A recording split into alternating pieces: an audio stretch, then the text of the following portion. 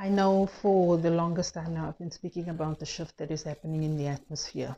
And I am also aware that there's people who obviously don't understand the meaning of it, who's not really fully spiritually equipped to understand what that means.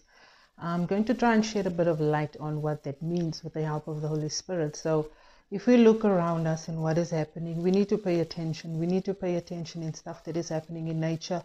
We need to pay attention in behavior, human behavior, even animal behavior. We need to pay attention to the world, what is going on around us, things that are trending, things that are out of place, things that way that things are being done. Obviously, change is inevitable and change needs to happen. There's an atmosphere taking place, a change uh, taking place in the atmosphere, meaning that things are shifting around for certain people to make way for certain things to happen in the world. Jesus spoke and he said that we need to keep watch. We have to watch. If you read the word of God, all the prophets warned us from back back in the Old Testament coming into the New Testament, the apostles wrote.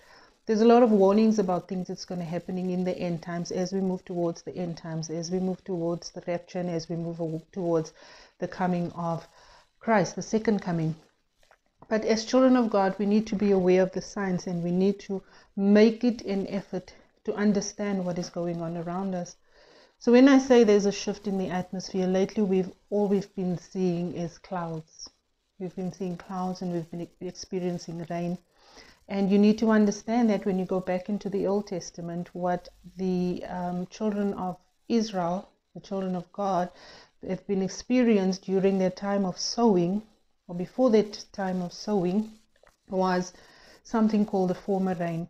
So it's a rain that will take place to help um, cultivate the ground, to set the ground ready for people to sow.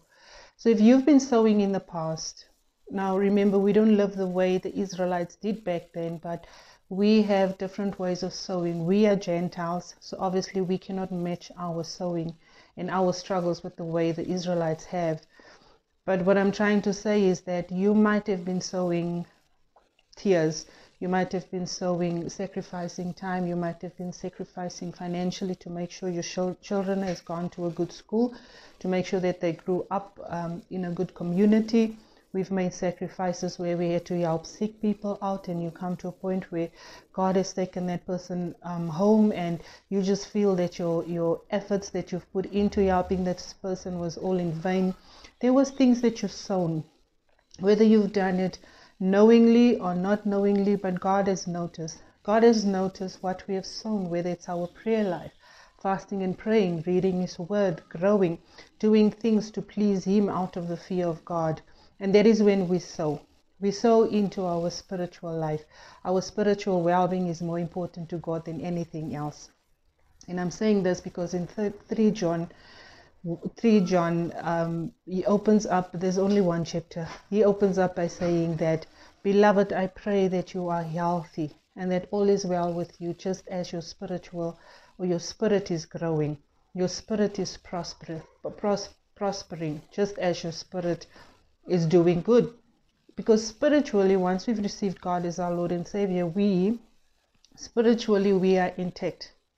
God is happy with our, our, our spiritual state, but we need to grow. Our spirit needs to grow and our spirit needs to get more in tune with God.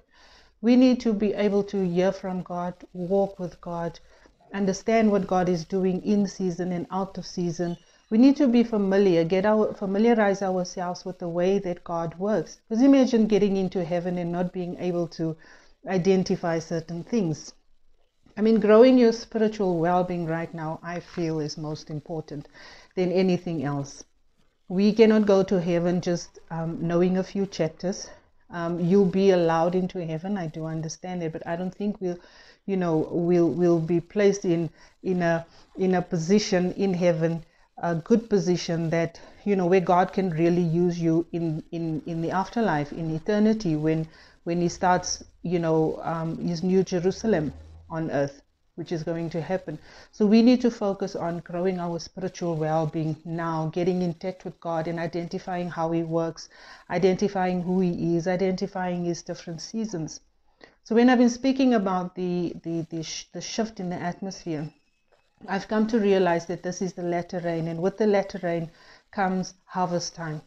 So it's time to harvest what you've sown. It's time to go now and, and, and reap what you've sown. You, have, you will be in a position to reap what you've, show, you've sown. The benefits will be there. And so, with all this rain going on around us, I just pick up the sense that this is the latter rain. This is the rain where God is saying, you know, the harvest is ready in terms of souls people we need to go out and we need to speak the word of god we need to preach so that people can understand what is god doing in our lives in their lives in the lives of people around us in the world globally universally you know there's so much that god is doing. His goodness is everywhere and most of the time everything that the world is reflecting back is negativity. Is stats of deaths is stats of infections is stats of what's going on around us. We should be focusing on the word of god. And we should be focusing on the things that God wants us to enable for us to grow spiritually. John said in third John, in, in the third book of John, that I want you to be healthy and grow as your spirit grows. If you understand how salvation works, your spirit grows, salvation changes you. You grow and you want to become more Christ like and you want to become more God like and you want to do the things for God. We want to store up treasures in heaven so that is what's happening. And that is what's happening all around us. We need to be in tune with the movement of God. Every time God wants to move, something needs to happen. The atmosphere cannot stay the, uh, stay the same. Landmarks cannot stay the same.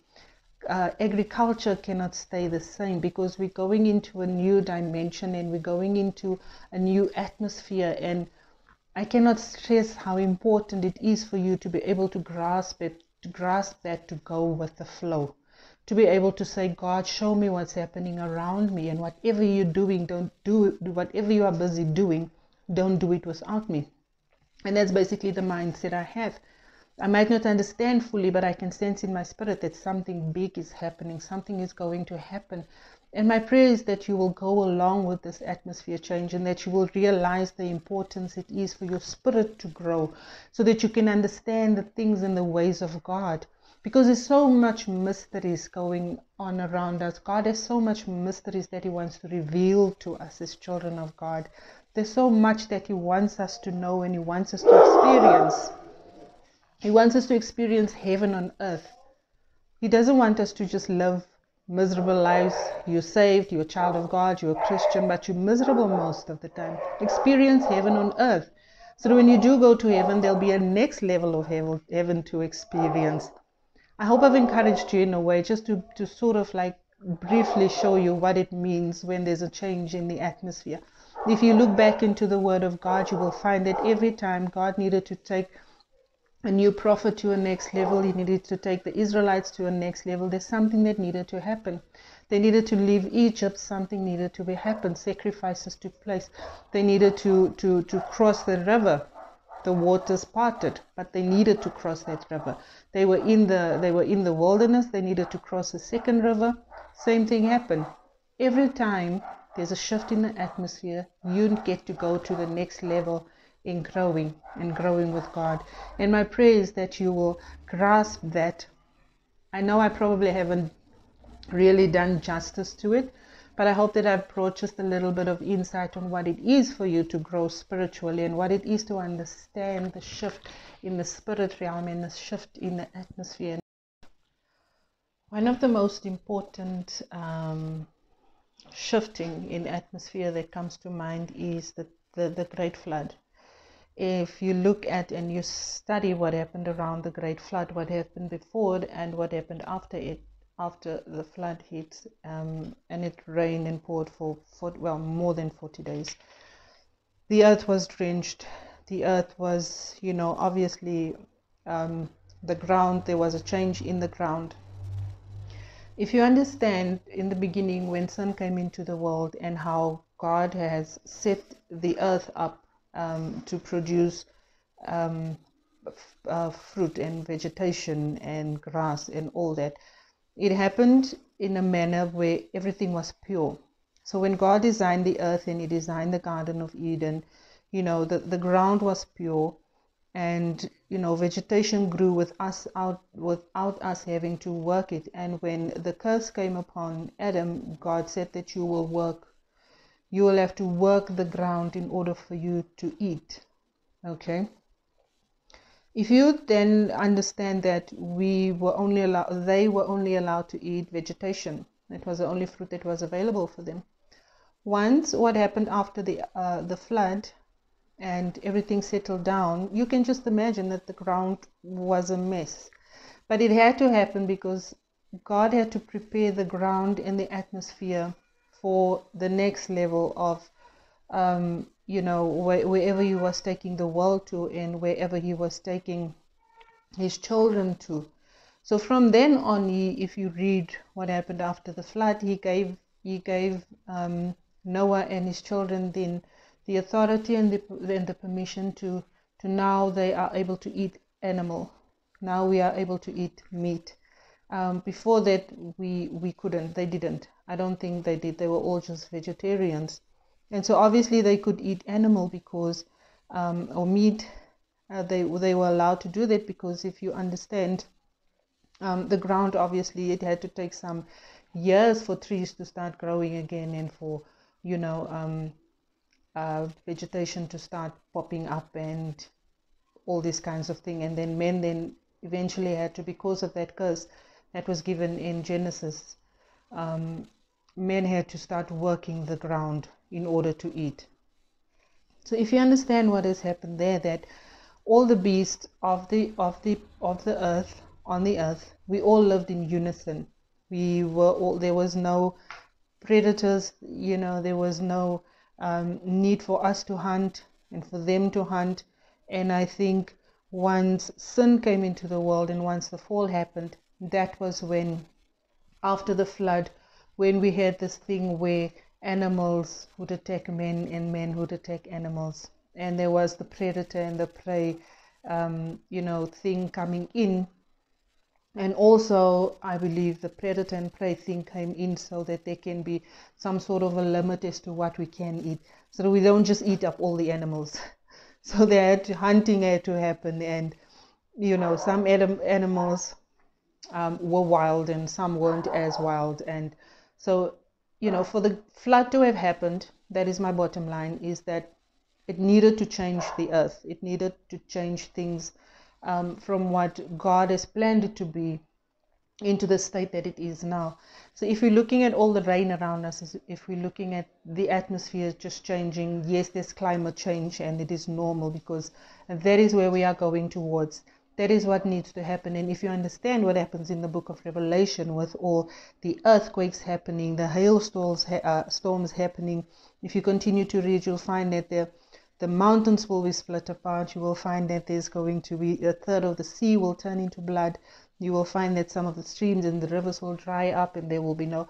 So it's all just climate change. It's all just things that need to happen.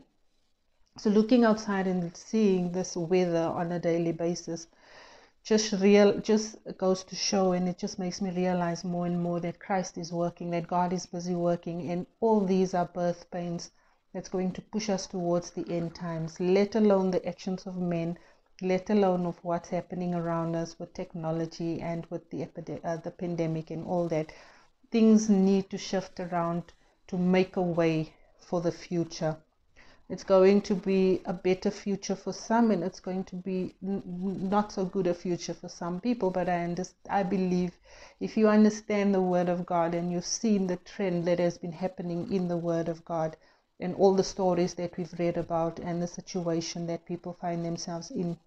That this is just one of those moments.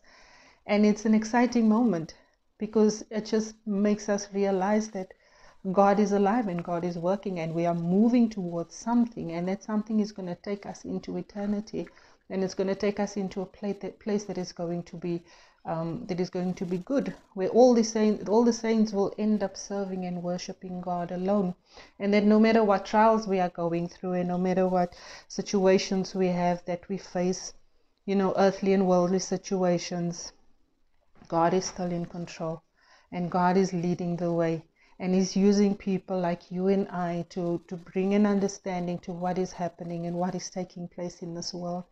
so that we can focus on Him and focus our energy on Him and not things that is not going to produce any good in our lives. We need to work for the future generations and the future of this earth. Stay blessed, beloved.